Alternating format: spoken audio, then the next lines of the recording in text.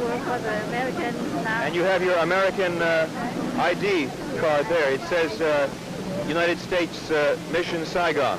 We think that uh, the American uh, has uh, some uh, some uh, methods or find uh, the many ways to save us from the communists. We don't want to stay here anyway.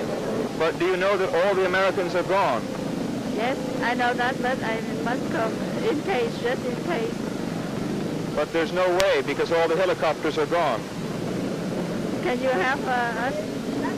Uh, There is no way I can help because we are staying here. We are staying in, in Saigon.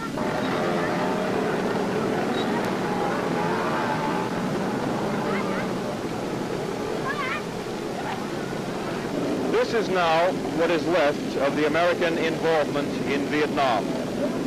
The U.S. embassy behind me has been completely looted. The South Vietnamese obviously are angry at the American withdrawal. Many of them have said that they were left out in the evacuation. They were unable to make the helicopters. Many of them were American employees. They have had to stay, and they will now have to stay and cope with communism in South Vietnam.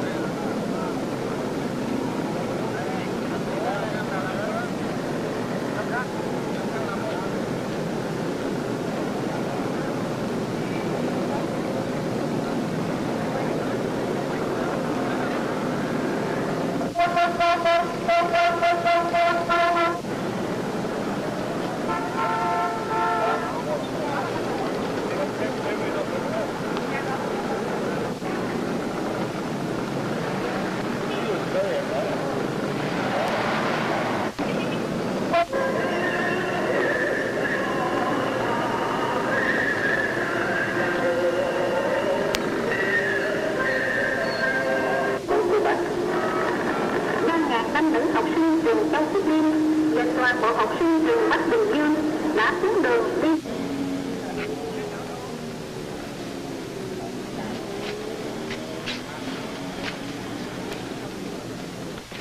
Anh qua Anh ngồi chứ.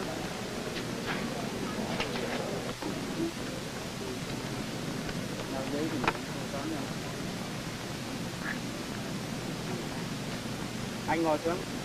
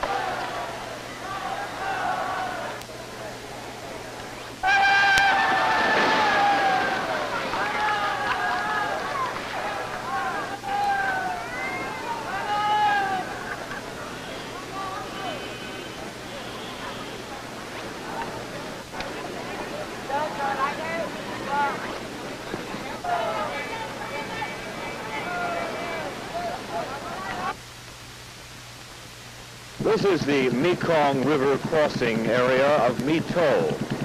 It's five days after the liberation of Vietnam by the communist forces. Two weeks ago, you couldn't come here. Now the Vietnamese people are traveling back and forth up and down the country as normal.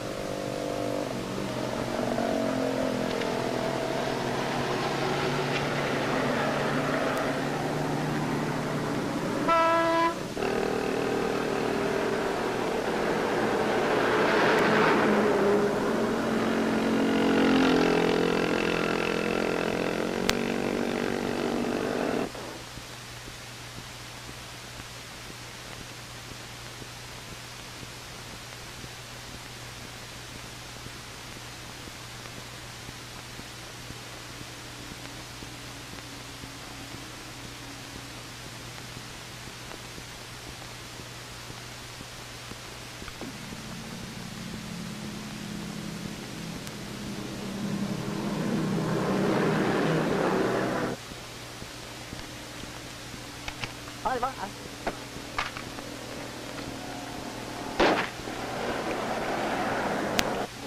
thôi. Đó. Hay quá. Đi dân đây đó. À bắn bắn ở đây hay á.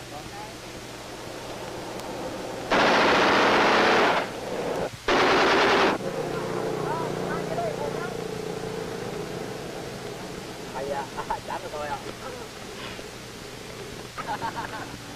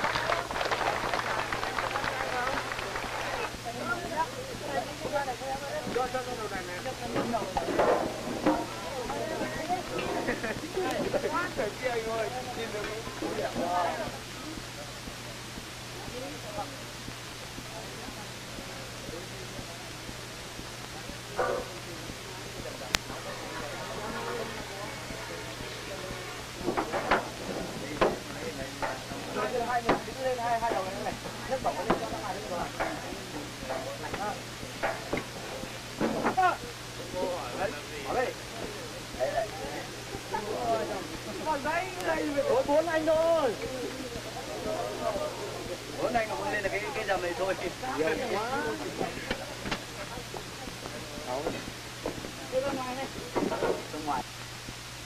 We've seen the evacuations of Da Nang and Nha Trang, and they were pretty terrible as far as we could see. We really wanted to stay on and see what was going to happen here, be with our friends, be able to go back to the States and speak with some authority, too. Julie, what have you been doing for the last nine days since the liberation? Well, we've moved very, very freely throughout the city and have talked to all kinds of people. Just talked to people on the streets, uh, talked to the Liberation Army people very freely. They're very open. And considering the fact that we're Americans, I find that very surprising. And you speak Vietnamese, and what do they say to you? Uh, well, depending upon who you talk to, very different things. Of course, there are people who are very excited and feel the changes are very positive and feel that now they're going to have it. Um, for example, ex-political prisoners who are now free for the first time in a very long while. We've met many of them, and they're, they're very happy and very excited about what they consider a free government now. We've talked to other civilians who were very afraid uh, at the time of the liberation of the city. They'd heard any number of rumors. They were afraid their fingernails would be pulled out. And they're amazed that none of that is true. You know, you've been here and you've seen how, how very calm and peaceful the changeover has been. I think there's still an element of, of question in a lot of people's minds. They don't, they don't really know. Everything is so normal. How can that be possible? You know, it, it doesn't live up to the, to the hate stories they've heard for so many years. You know, and the question is, well, are the communists now going to sneak around and change in another week? How long will it last? But I, I feel pretty confident that things are, are going to go on um, very normally. Sophie, were you surprised by the events here? I was very relieved to see that the fighting didn't uh, get into Saigon. I was surprised that the surrender took place so quickly and with so little bloodshed. I wasn't particularly surprised to see how the local people have begun to organize themselves. The electricity workers were out the day after the liberation fixing power lines. That was faster than I'd expected. But I'd expected the students and the local people to um, start organizing committees, getting people back to work. And finally, Julie, did you ever at any time have any fear for yourselves? Oh, sure. when you were around when, you know, the night Tan Son Nhut was uh, being attacked. And at that point, I thought it very likely that the war would just come rolling right into Saigon, and there might be hand-to-hand fighting in the streets and shelling and stuff. And uh, I didn't know whether uh, we'd live through it. But of course, that didn't happen. And, and once that, that 24-hour period was over, we all were very relieved and very, very happy.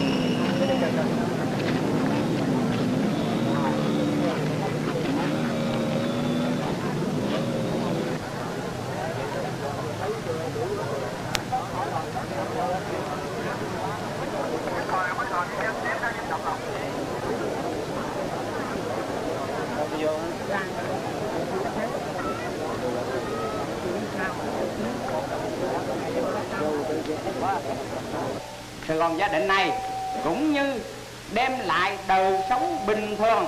Chính phủ cách mạng lâm thời, Cộng hòa miền Nam Việt Nam hoàn toàn ủng hộ lực lượng võ trang nhân dân giải phóng của chúng tôi. You yesterday have observed the sentiments and attitudes of the people here. Towards the Provisional Revolutionary Government of the Republic of South Vietnam. And towards the People's Liberation Armed Forces. It is to fully support the PRG and support the armed forces of the people.